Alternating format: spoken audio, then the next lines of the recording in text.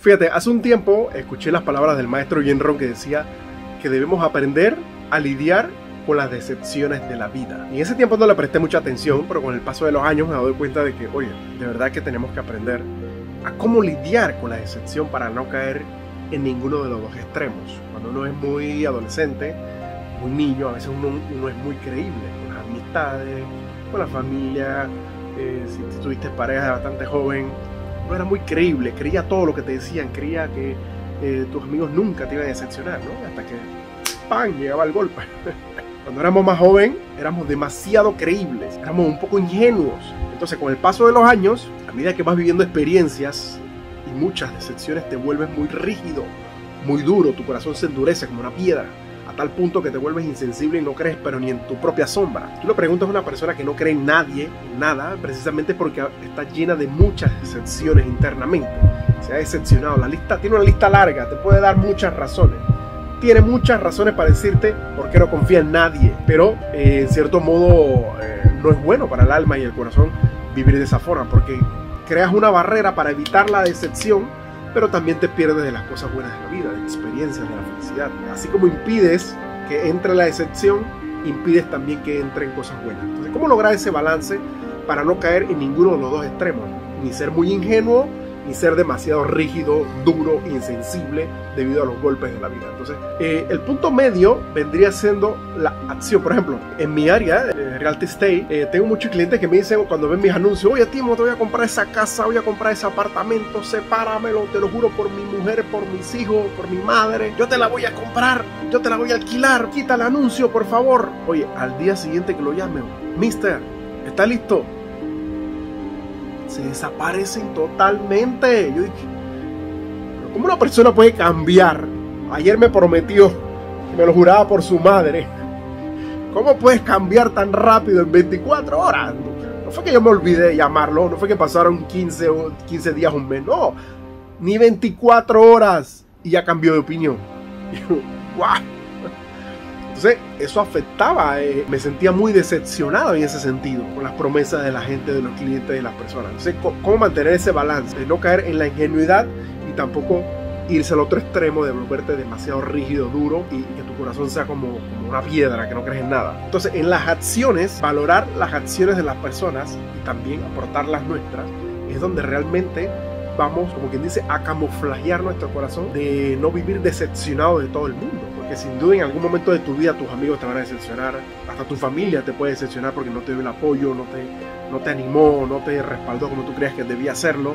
Un amigo con el que querías te dio la espalda, te traicionó, empezó a hablar peste de ti y tú te diste cuenta por otra parte y digo, wow, esa persona por la cual yo estaba o tú estabas dispuesto a dar tu vida o, o, apoyabas incondicionalmente, resulta que hablaba cosas a tu espalda. Entonces, ni qué decir de las parejas, ¿no? te veías con un futuro con cierta persona y resulta que las cosas cambiaron de la noche a la mañana. Entonces, ¿cómo, cómo lidiar con las decepciones de la vida? A medida que van pasando los años, me acuerdo tanto de las palabras del maestro Hierro dice, aprende a lidiar con las decepciones de la vida porque te van a pasar, te va a suceder, no podemos ser ingenuos y creer que nunca te vas a, nunca vas a vivir una, una experiencia como esta.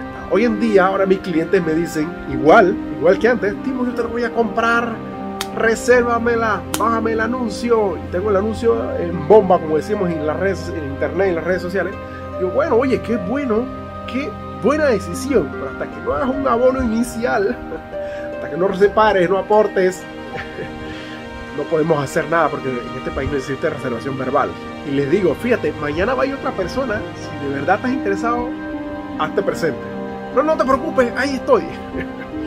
Entonces valoramos a las personas por sus acciones. Está bien las palabras, está bien hablar bonito, está bien decir, pero es muy fácil hablar y decir. Realmente donde valoramos a la gente son en las acciones, donde hacen, donde dicen, donde se comprometen. De igual forma nosotros mismos.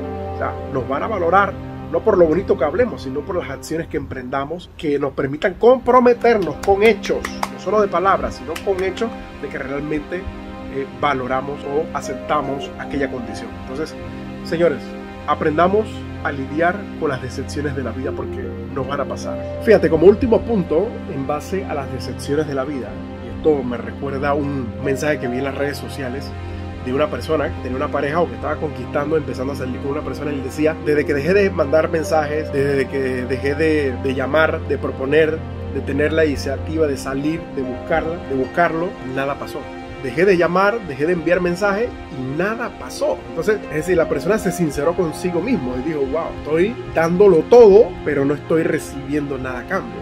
O sea, no había reciprocidad en esa relación de pareja. Porque desde que dejó de llamar, dejó de proponer iniciativas, dejó de invitar, no recibió, pero dio buenos días. Entonces, si, si tú si tú estás comenzando una relación en ese sentido, las acciones van a denotar realmente si hay reciprocidad en ese punto. Las, las, acciones son las que van a realmente van a demostrar si hay interés, si hay propuesta, si hay valor en ese sentido. Entonces, señores, en algún punto de nuestras vidas nos vamos a encontrar o nos vamos a tropezar con las excepciones. Entonces tienes que tener en cuenta esos dos puntos, esos pasos importantes. Uno, de que en algún momento te vas a encontrar una excepción en la vida. Y uno es no tomártelo personal.